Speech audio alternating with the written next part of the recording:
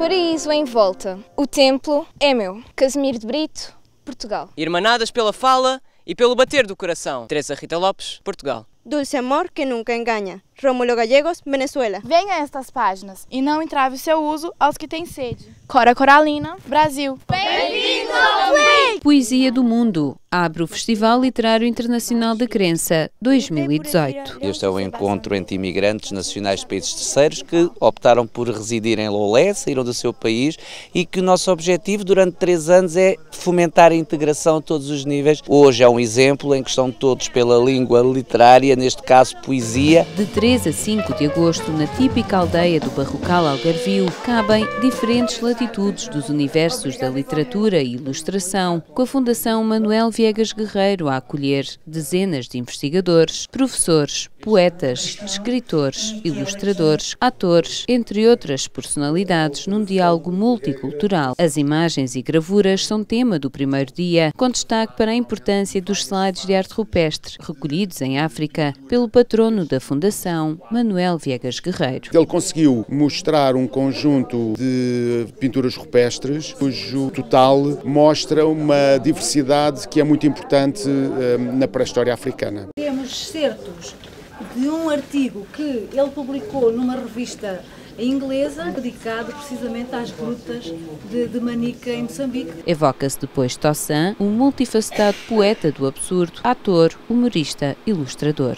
Ele comovia-se a representar muitas vezes, a, a, a dizer as coisas. Quem o conheceu nunca mais se pode esquecer dele. É um caso raro e extraordinário das artes visuais portuguesas do século XX. O Tossan parecia ser um daqueles homens do Renascimento que tinha humor em tudo o que fazia, inclusive na sua vida privada. Esta relação entre as pessoas e os bichos é uma marca uh, dele que provavelmente se distingue de todos os outros, de, de muitos dos outros ilustradores do, do, do, seu tempo. Esse homem brilhante e extraordinário em todos os títulos foi o Tossan, que eu conheci também.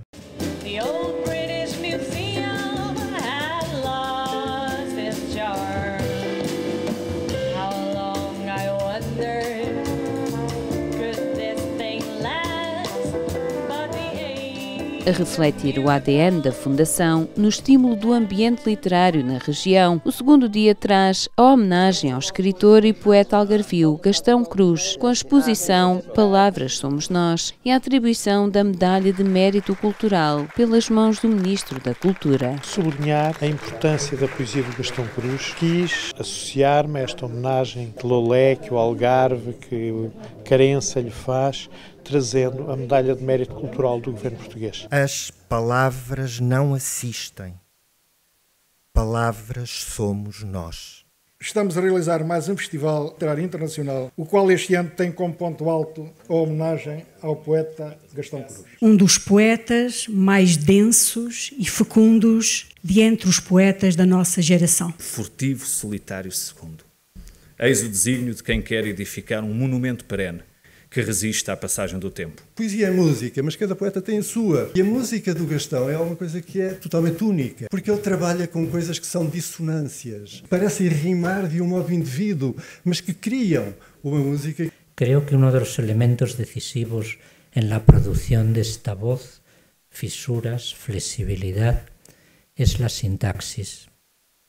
En toda la obra de Gastón Cruz lo ha sido, resultando difícil distinguir lo que hay de barroco y lo que hay de extremadamente moderno en su impulso.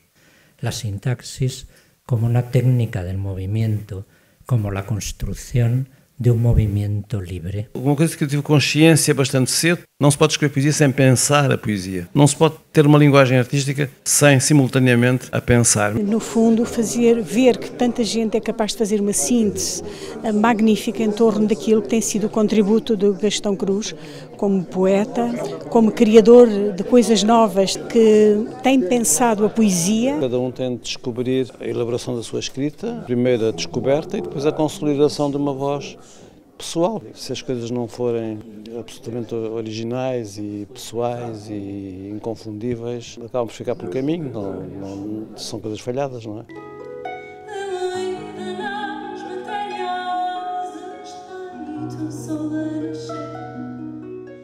Falámos do que é isto de escrever e o que é isto da memória e da escrita, porque a memória está muito presente também na poesia de Gastão Cruz. Ao surrealismo acrescentamos uma consciência linguística vigilante. À noite, a fachada da Fundação é tela gigante para acolher este irreverente como cativante concerto a quatro mãos, de piano e ilustração. Estes festivais congregam também um público sensível para aquilo que nós estamos a fazer. Nós sentimos uh, verdadeiramente essa ligação, particularmente a partir do primeiro momento, a partir do momento em que, hum. em que essa primeira imagem é gerada, o primeiro som é gerado, num ato de comunhão absoluto.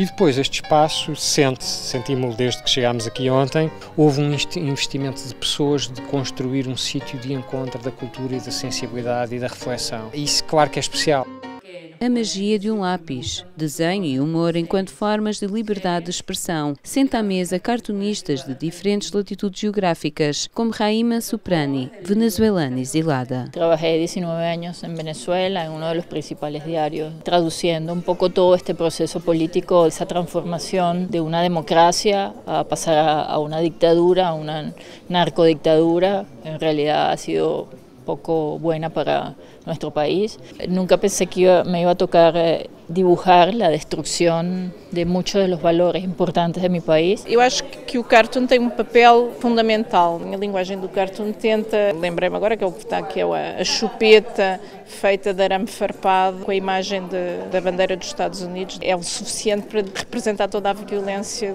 que enfiaram arame farpado para calar a criança. E é muito interessante terem conciliado a literatura e a ilustração e a música também, que ontem também houve um espetáculo de música. E estes festivais são incríveis, eh, são muito importantes para, para as pequenas localidades e geralmente é tal coisa, a arte às vezes é só tida como uma pequena, um pequeno acessório eh, e não, deve ser realmente um impulsionador eh, das, das localidades pequenas e Mon journal était catholique. Quand même, il y avait des gros soucis euh, avec la pédophilie et la religion. Et ça, moi, je ne pouvais pas ne pas dessiner dessus. Euh, donc, euh, c'est vrai que j'ai été beaucoup censurée sur ce, sur ce thème. O ator Luís Vicente traz a arte poética da cena. Mais tarde, Sófocles introduz a segunda personagem, o antagonista, e hoje aqui estou eu, um humilde descendente do Téspias, a contar-vos esta história, procurando fazer uma síntese da história do teatro. Segue-se o diálogo entre a literatura e as artes plásticas. Não há um poeta inglês dos maiores, um poeta americano dos maiores, que não, em que a questão da poesia e das artes visuais não seja central.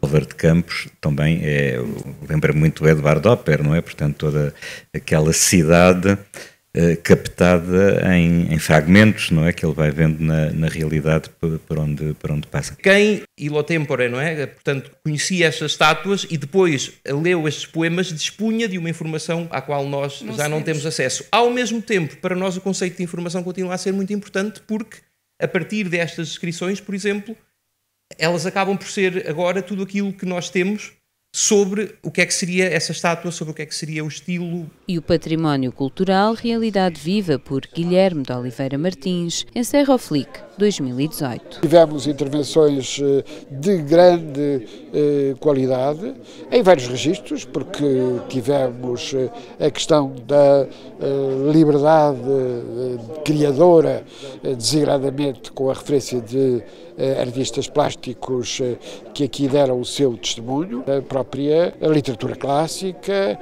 a ilustração e a invocação aqui de artistas como Tossin, como Bernardo Marques eh, e Maria Queiro.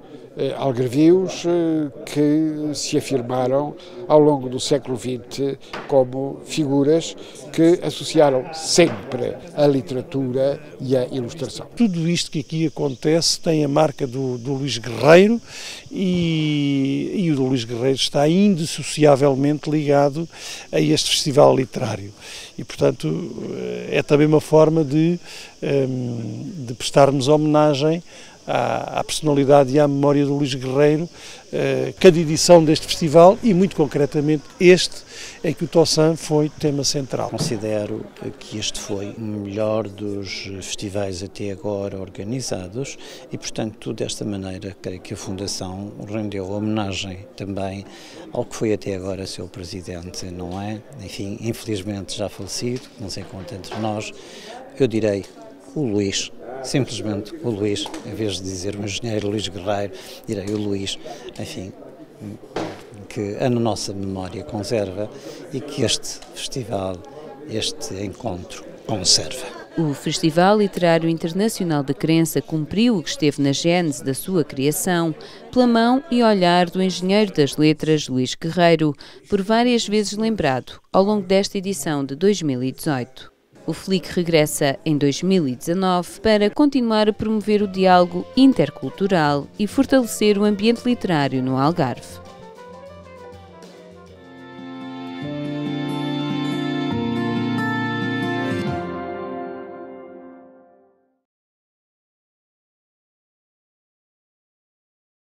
O meu pai trabalhava na Faculdade de Letras, era desenhador do Centro de Estudos Geográficos e, portanto, eu, em criança e depois adolescente, tive a oportunidade de privar com muitas daqueles, daquelas pessoas com quem meu pai, para quem meu pai trabalhava, com quem meu pai trabalhava, e uma, delas, uma dessas pessoas era exatamente o professor Viegas Guerreiro. Tenho uma, excelentes recordações do professor Viegas Guerreiro, porque era de facto uma pessoa de uma, uma, de uma humildade, uma generosidade uh, à, qual se ligava, obviamente, como todos sabem. Uh, portanto, enfim, uh, uma, toda uma faceta enquanto, enquanto investigador, professor universitário, de tudo. E isso eu acho que é uma alegria muito grande para mim poder, porque estas coisas, a partir, a partir do momento, a partir, eh, penso que a partir, particularmente a partir de determinadas alturas, começamos a valorizar muito mais eh, a sorte que temos ao, nos nossos, ao longo da vida de termos esse tipo de encontros e dessas pessoas terem contribuído para a nossa formação.